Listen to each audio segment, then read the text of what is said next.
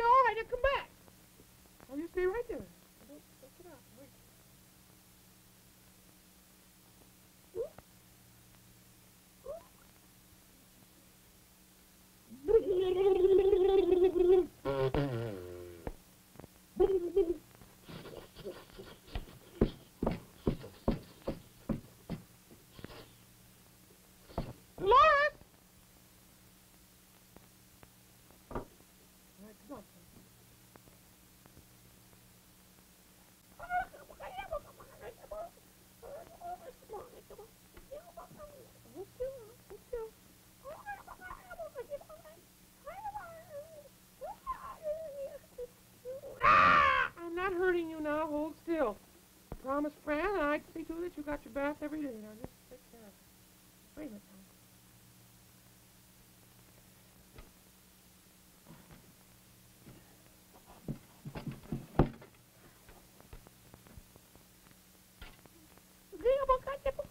now. Hold still. It's cold now. Let's see your ears. Ah! No, I'm not hurting him at all, no. I want them nice and pretty. They're so pink. Ah! Now stop.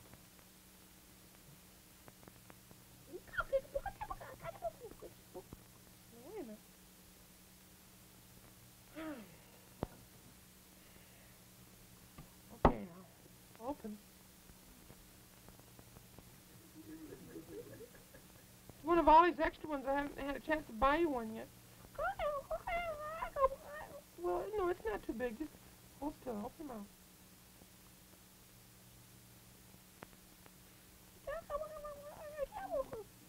Take good care of it.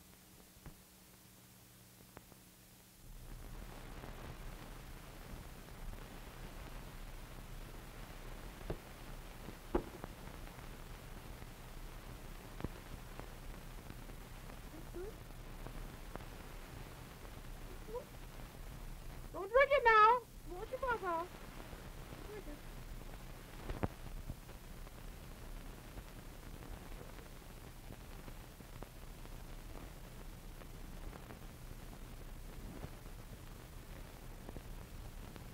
No, I'm not at the piano. Hey, I'm getting the ball.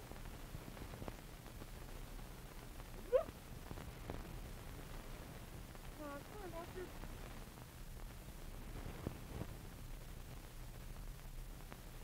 The Lord. You ashamed of yourself?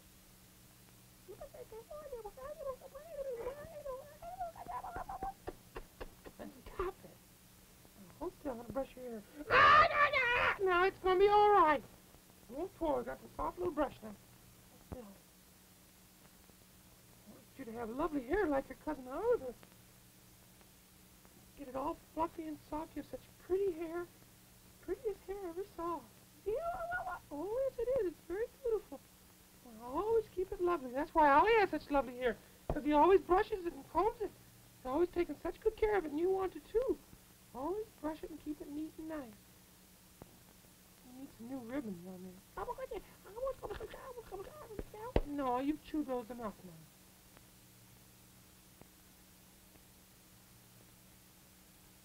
There. There. Let's see how you look. They're lovely. Show everybody. Does she look nice, Jack? Very lovely, Susan. That's right, Hey, Dolores. Cowboy. Mm-hmm. What's she saying? She's asked me how I've been. Is that what you're asking? Hey, Cowboy. Hey, Sounds that way.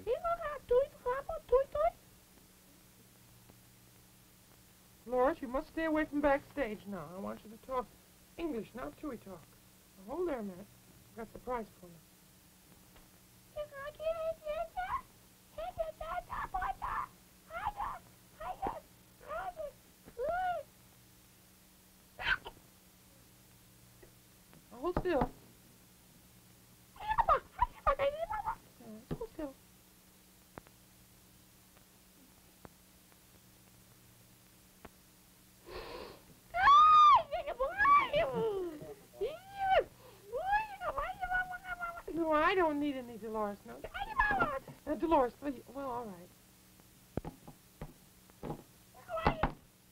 bulb. Uh, never mind. You can't do it. It's a little too tight for you. No, Dolores, now, please, please, please, now. Now, why don't you take a little nap?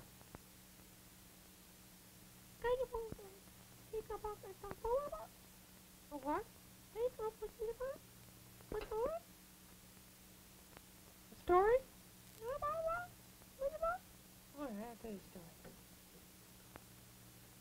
Once upon a time, many years ago, there lived in a there lived in a, a little house a lady and um, her little girl uh, who was known as Little Red Riding Hood. Yeah, yeah, yeah. Well, I know I told you, but I thought you'd like to hear it again.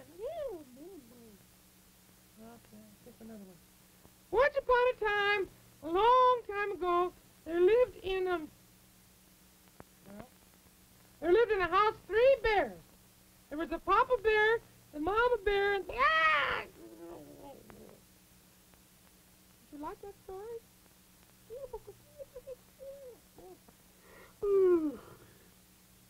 It bores you? What? Don't chew my ear now. True story? Once upon a time, once upon a time, there was a dragon. And, uh, no, no. And his name was, no, it's not about you. And his name was Oliver. And he lived, he lived in, in Vermont. And um, when he was a little boy, he used to play outside and uh, and run. And they had a farm up there, and, and, and it was in the mountains. And he used to go skiing in the wintertime, and he used to go hiking in the summertime. And then he lived with his mama and his daddy in the, in the, this place in Vermont. That was it, Dragon Retreat. Don't get ahead of me. And then he went to Dragon Prep. And and then after he went to Dragon Prep, he uh, started to do some acting. Well, as a matter of fact, first he went into television engineering. And then he got a chance on a television show uh, with a young man, quite a good-looking young star.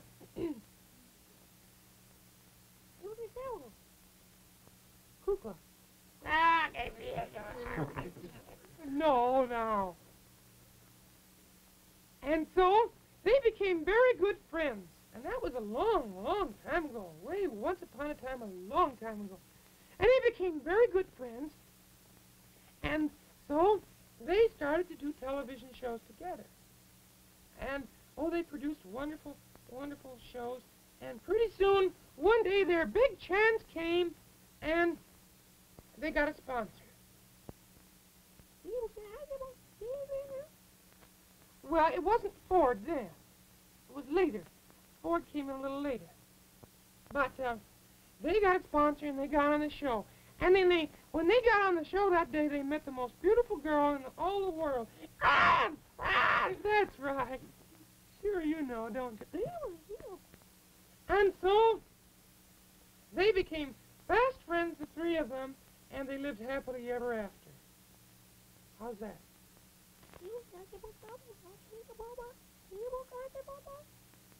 Your cousin? What's you trying to say, Jack? Sounds like cousin. What about Ollie? Well, we all have our bad days. Sometimes Ollie does kind of, you know, irritate just a little bit, but don't you think that maybe once in a while you might irritate a little bit? Well, sometimes you might, just a little bit.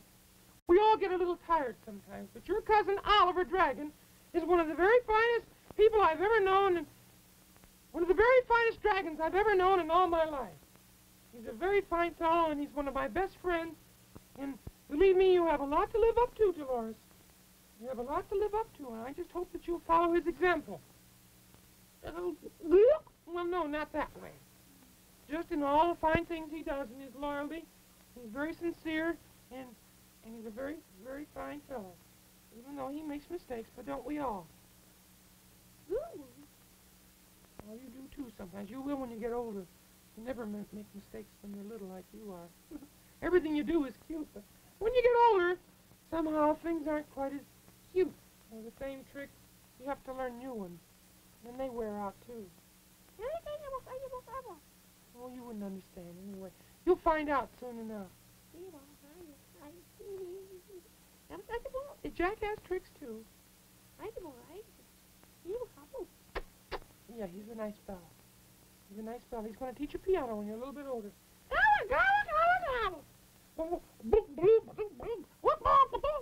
No, no. Classical music. Now you have to take classical music first, and maybe later he'll play popular music for you and teach you that.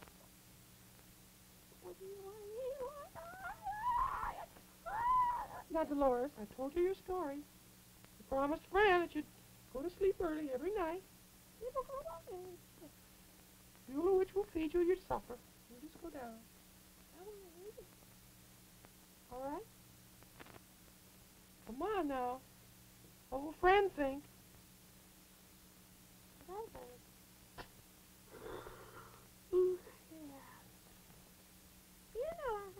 Good night, sweetheart. Go to bed now. Let me take this damn towel off you. Go on.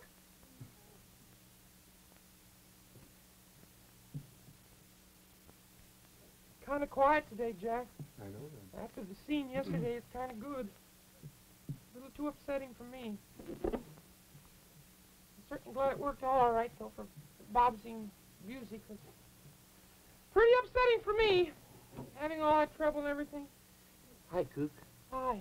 Hey, what were you doing up here? Oh, I was, I was working. And took, gave Dolores her bath tonight, and sent her downstairs to go to bed. Phew, That's wonderful of you. Did you tell her a story tonight? I told her a story. What kind? Oh, I told her a story about a fellow I know. Who, who's that? It was a true story. Who's the fellow? Who's the fellow? Tell me who the fellow was. Jack Fascinato? No, Linwood? no. Who could it be? Oh, I told a story about a fellow I know by the name of, uh, his initials are O.J.D. O.J.D. Ogilvy Jeremiah Stokesby. No, What's his first name? Oliver. Oliver Jericho Dumbbell. No, no. Can't you guess? Huh? Me! Yes. what were you telling? Well, I was telling about when you were a little dragon. I didn't I didn't know you then. How do you know? Well, I, I just this morning I was going across some of the, the scrapbooks, and You're uh, reminiscing? what? Reminiscing? No, reminiscing. That's what I said. Well, anyway, I was going through the scrapbook that their mother sent down, you know, and I saw pictures of how when you were young, and I remember you from a long time. We're we're pretty old friends, don't you think? Oh yes, you're you're practically the oldest friend in- the entire world except for my family. And I'm not sure whether you can call them friends or not. Aren't you on friendly terms with your family? Yes, but I mean they're relatives. It's different. You know, I was thinking. I told Dolores about. Well, in the in the summertime, how I used to go hiking, and did you have a real farm there in Vermont? Well, it was sort of yeah, it was kind of a farm.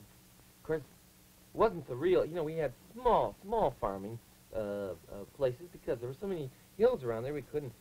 Still, we had. I remember we had. Oh, I can see it now. We had a. We had cornfields, and you know, when I first came, when I first left home, and I, I, I remember when I, when I first went to Dragon Prep, and right after that, when I went to the city, I, I used to sit around and I'd listen. Long ago in the twilight, my fancy would stray over the hilltops and far, far away. I dreamed of the city, a life full and gay. But now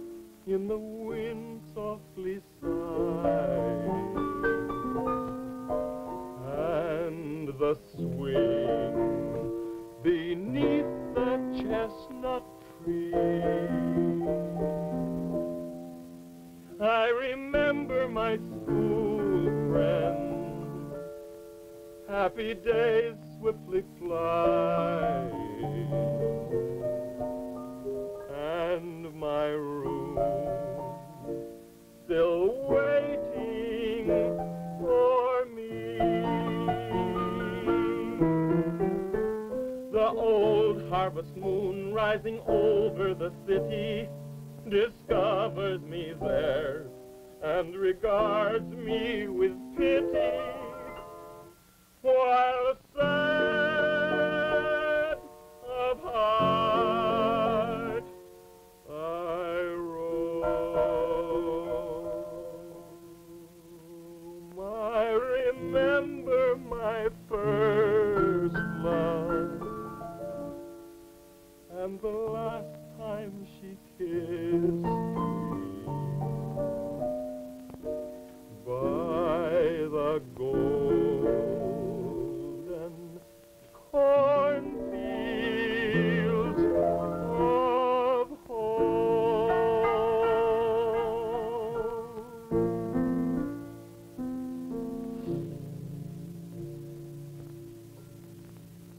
you that homesick?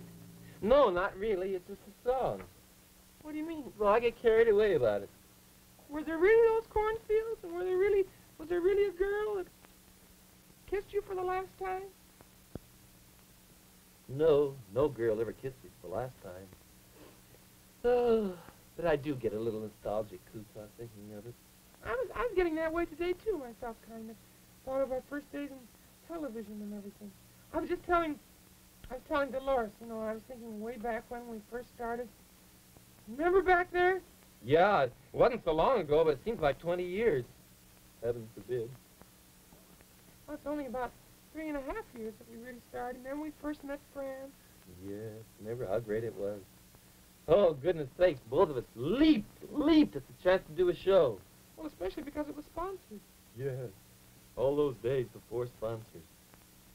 Lots of people don't know that there was television before sponsors. They should have been with us. Yes, those were the rough days. But they were the fun days, too. That gay bohemian life, ha ha, living out of the trunk. We never lived out of a trunk. We did pretty well. Yeah, but it sounds better that way. Let's not make a story out of it. Well, it was a pretty good story, Coos. Remember? Remember that first day when we came? in? I can't even remember the show. You can or can't. I can. What was it? Well, I we did a we did a special pageant about courtesy or something. I can just remember that. And Fran came on the show, and um, my goodness, that was in the days when we did a whole hour every day. That's where I got my gray hairs. You don't have any. Oh, that sounds good too. Can't I have some illusions left? The public's got to think I'm a star now. The public's got to think that I have gray hairs, that I'm great, to tragic and worry and everything. That our life is very complicated and that we are very mysterious and live in a great peak way up there at the top. That's what we must let the public think. I have news for you. What? They see you every night for a half hour. They know you don't live way up there. You live down here. What do you mean? Well, that that's kind of silly. You're a friend. Everybody knows you. They know you're not a, you know, not a real star. I am so a real star. Well, I mean, not a star like you're not mysterious. I could be. I could wear a mask or dark glasses and a great cape and go out into the wind. Should I do that? But if you go out into the wind, probably nobody will see you. The cape will fly across your face. That, if you want to be that mysterious, it's all right with me, but it's not commercial. What do you mean? Well, If you want to go out and have people see you, then you stop and talk and visit with them. That's more fun. Suppose it is. Let's go back to reminiscing. I like to reminisce. Makes me feel so kind of mellow and kind of. It makes me feel kind of like a, ooh, a great sage. Great sage. Yes, that's what I'd like to be, a great sage someday. Giving out little pearls of wisdom here and there to young people who come up to ask for advice. If you keep on going like this, you may never live to be old. Cooper, please. Dragon family is a very old family. You know what we should do right now? What? We should talk about one of our sponsors. Well, it's very easy. I like all of our sponsors. I do too. You know, someone asked me just the other day, they said, how in the world, I mean, how do you go about preparing your commercial? What did you do? I laughed. What would you laugh well, we're prepared, gracious sake. How can you, you know, I don't prepare about things like that. Like when I talk about the 51 Ford, I just, I just talk about it because I, I have a 51 Ford. Anybody who has a 51 Ford just talks about it. It's natural. It's just that way. You know, the Ford family is a Ford family. That's all. You just sort of belong. Well, why don't we talk about it now? I just, um, Would you like to get a one of our 51 Fords out of the garage? all right.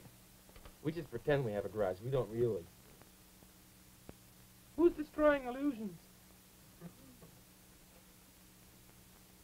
Gee, I saw this. Cook, I saw this at the automobile show here in Chicago. Oh, isn't that wonderful? I didn't know you were down there. Sure, I was down there. I never missed the automobile show. Oh, this is a little model I... Oh, isn't it handsome? Oh, you know, do you, you know that the 43rd annual automobile show here in Chicago is the largest in the world? I didn't know that. Well, you should just keep your eyes open. Oh, I did. Keep your ears open, too. I do. Oh, okay, then you should hear it. Oh, look. And you know, when I... Oh, all those cars there at the automobile show, but I could spot that 51 Ford uh, practically clear across the International Amphitheater, which is a quite, a quite a big space, let me remind you. Because I looked at that front, oh, that beautiful front with a twin spinner radio grill, the uh, radiator grill. Here it is, twin spinner, see? Completely restyled, you know. And it gives the front end a wider and a lower and a more massive appearance. Don't you think? Yes, I do. I'm just wondering what you're gonna, what else you're going to say. Oh, I, I can talk for hours if you'd like me to. Well, go ahead and see. Well, well, for instance, the little parking lamps here, I think. parking lamps, look. They're restyled, too. And they're circular lamps, you know, and they harmonize with the twin spinners here, you see? It makes a balanced design. Now, you may not notice these little things. You may just look at the 51 Ford and say, oh, boy, that's a beautiful car. Wow, wow, wow, yeah, I'd like to have a 51 Ford. You- But these are the little things that make it so beautiful. The balanced design. Very important. And then, of course, these bumpers, they're all newly styled. Much more rugged, too. Yes, they are. This wrap around here at the ends, it, it uh, makes for greater protection. Yeah, that's true. Very. And oh, and I love, I love the little, the little modernistic design in the hood ornaments. You know, the little, uh, it has a kind of symbolic of the 51 Ford's uh, look ahead exterior styling. Yeah, it is. And then the interiors. Wow. Well, anybody knows who's been out the automobile show and looks inside. Why, well, anybody who's seen a 51 Ford, just look inside. You really should get a good close look, though. It's really wonderful to just to get inside and sit down and look around. Oh, it's so beautiful. Look at those Ford Craft fabrics. They're upholstered in the highest quality, exclusive Ford Craft fabrics and distinctive modern patterns in keeping with the high standards set for Ford Luxury Lounge interior styling. I said it, and I'm glad. Oh, let's not let this up here in the lights too long. No, sir. Just let them have just a little taste of it. If they want to see it in person, they can go down to the automobile show in Chicago or at their Ford dealers, wherever they live. Well, how's that? I think you did pretty well. I've always do pretty well. Well, not always. Sometimes you don't do so well. You know, the whole thing is kind of exciting. What? Uh, well, I mean, like, um, Television's exciting to me. Still? Oh, after all these years, I think it's more exciting than it ever was. Remember when I used to, remember when, oh, remember when the, way back when, when we used to put the camera together with uh, scotch tape and uh, bobby pins? Yeah, I remember that. Remember sometimes I would give a lecture on television? Yeah, I remember that. It's a great thing, isn't it? You really still think so? Oh, sure, I think it's a great thing. Golly, we wouldn't be here if it went to television. Where would we be? Who knows where we'd be? You know, I feel, Kukla, I feel way down deep inside of me that I would like to, I would like very much to pay a tribute to television. You would? Or would you rather have me sing a song?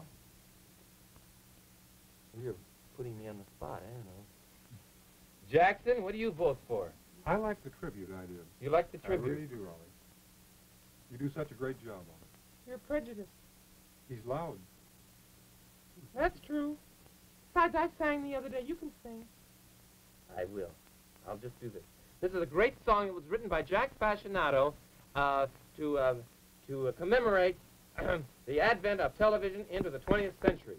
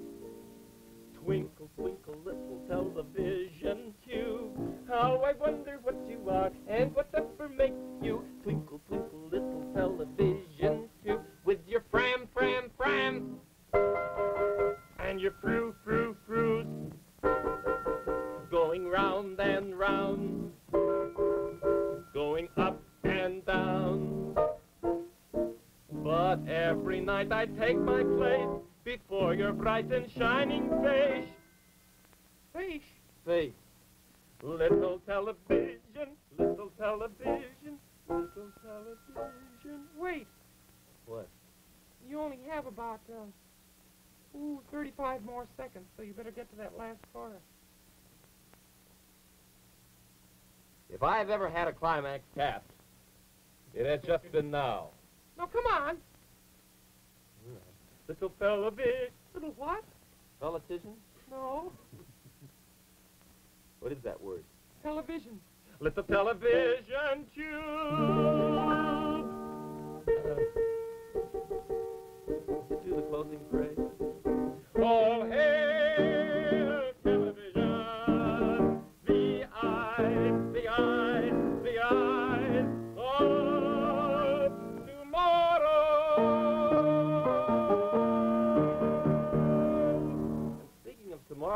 when you buy for the future, Buy Ford. Here is the car that combines long life economy with lasting luxury and driving ease. It's the 1951 Ford with 43 new look-ahead features. Test drive the 1951 Ford. You'll agree, you can pay more, but you can't buy better. The musical director of Kukla, Fran and Ollie is Jack Fascinato. The producer is Beulah Zachary, the director Lewis Gomavitz, and the costume designer Joseph Lockwood. And this is Burr Tillstrom. Mr. Dragon and I thank you. Good night. Remember to visit your friendly Ford dealer. We think you'll agree with him. You can pay more, but you can't buy better. Kukla, Fran and Ollie came to you from Chicago.